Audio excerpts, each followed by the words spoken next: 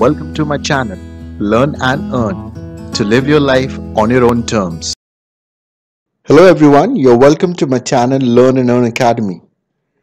Today, the whole country is celebrating 76th anniversary of Quit India movement, a movement which was launched by Mahatma Gandhi on 8th of August 1942. This one movement made the entire country come towards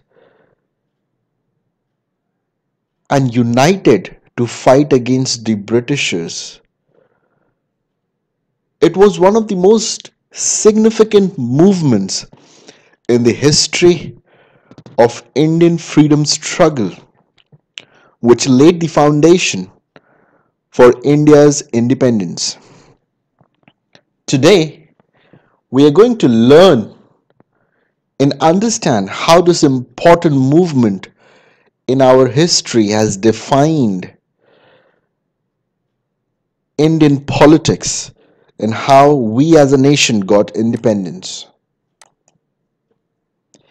Now, Quit India movement is also called August movement or August Kranti because it was launched by Mahatma Gandhi under the ambit of Indian National Congress on 9th August 1942.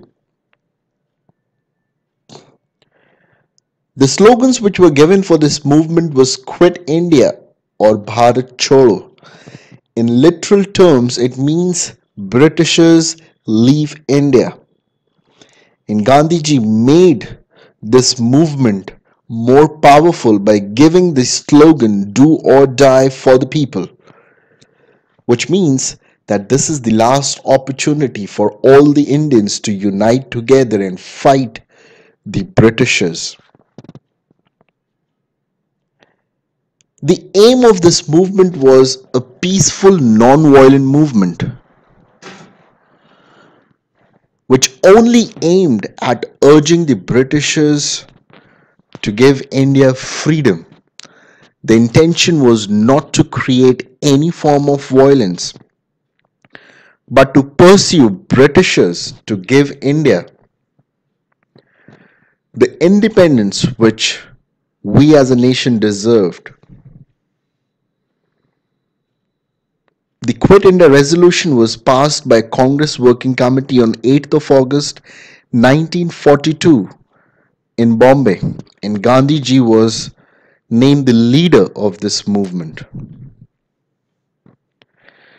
Now the resolution which was passed in Bombay for this movement had certain provisions, the objectives. And the biggest objective was to remove British rule over India immediately. Declare commitment to free India and let India fight against any form of imperialism and fascism. So, in other words, India wanted complete independence from British rule as the prime objective of Quit India movement in 1942. The other objective was to form a provincial or a provisional government of India after British withdrawal. So once the Britishers go from India, there should be a provisional government which will take care of the people for the time being.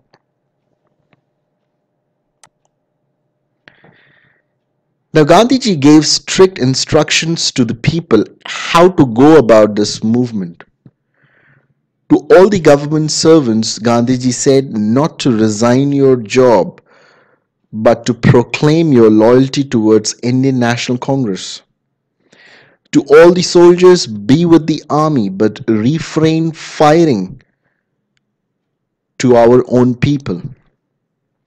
To peasants and farmers, pay the agreed rent to the landlord zamindars if they are anti-government and if they are pro-government that is if they support Britishers do not pay the rent. Students, if they are confident they can leave their studies and fight and come together to join this movement.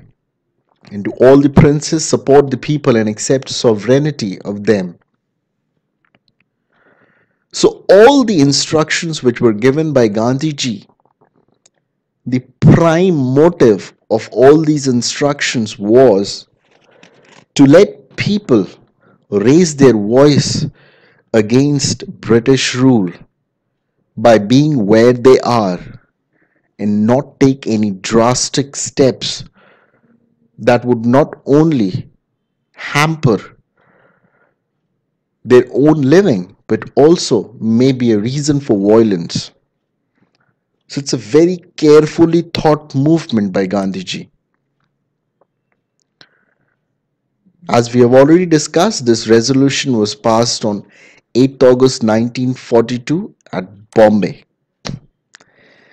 And the power of Quit India movement was that Britishers had to lay down and come up with a solution to transfer the power to India and give independence. So this was the first important step taken by Britishers to give India its freedom. So if you like this video, you can press the like button. Also subscribe to my channel so that in future, when I make a video, you are the first one to receive it. Thank you. Have a great day. Bye-bye. If you like my video, please like, share, comment and subscribe to my channel by pressing the bell icon.